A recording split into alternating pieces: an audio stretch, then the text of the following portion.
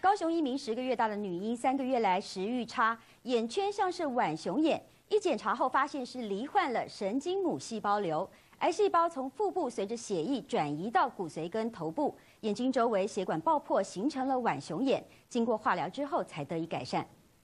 片中的十个月大女婴黑眼圈看起来好严重，而且女婴长期食欲不振，脸色惨白。妈妈担心之下到医院求诊，才发现女童罹患肿瘤。神经母细胞瘤这个好发的年纪是差不多两岁。